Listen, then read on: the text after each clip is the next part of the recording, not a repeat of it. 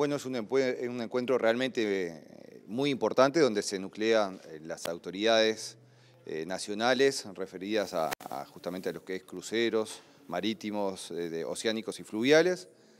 la gente más representativa del sector, de la industria, los operadores nacionales e internacionales, porque tenemos presencia de Argentina, tenemos la subsecretaria de Turismo de Chile, tenemos representantes del Ministerio de Turismo de Brasil, de Paraguay, así que realmente es un evento muy importante, la décima edición. Números de la temporada pasada que se cataloga como muy buena. Sí, son números realmente muy buenos, son 324 mil este, turistas que llegaron por intermedio de, los cruceros, con, una, con un gasto en nuestro país de 17 millones de dólares,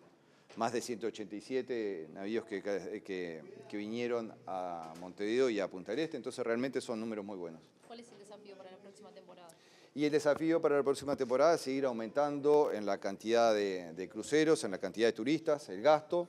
ver la posibilidad de brindarle nuevos servicios, mejores servicios, incrementar la posibilidad de que tengan eh, escala y pernocten en cada uno de los puertos. O sea, hay unos cuantos desafíos que creo que toda la industria y el sector este, estamos contestes de que se necesitan hacer. ¿De qué depende que puedan llegar cruceros al puerto de Piriápolis?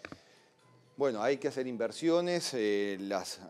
las, operadoras marítimas, este, las armadoras, que son las que realmente trabajan en esta línea de cruceros, este, necesitan determinados requerimientos que hoy el puerto de Piriápolis no tiene, pero bueno, estamos trabajando tanto en el puerto de Piriápolis como en Colonia para ver que se haga realidad de la llegada de cruceros que capaz que son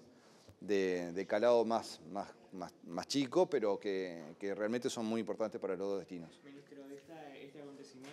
instancia, tiene la presencia también de distintos pares eh, o por lo menos representantes de ministerios de turismo de, eh, bueno, extranjeros, ¿no? Un,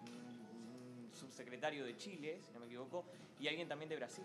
Efectivamente, sí, la subsecretaria, que es en el grado de ministra de, Turismo de Chile, el asesor personal del ministro Celso, el ministro de Turismo de Brasil, porque realmente es una actividad que, creemos que es muy importante y como decía recién el compañero del panel, es una actividad que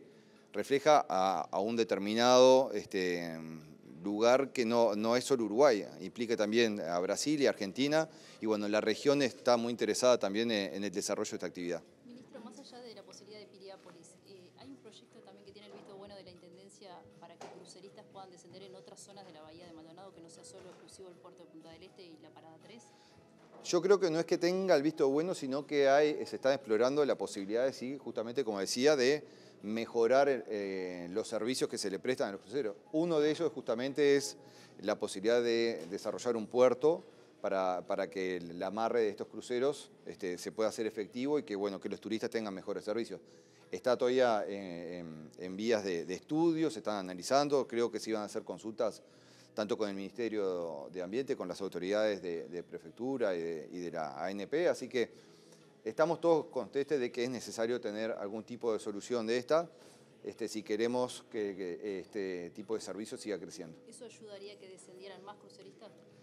Y eso ayudaría a que se prestaran mejores servicios y si se prestan mejores servicios, los cruceristas podrían bajar más,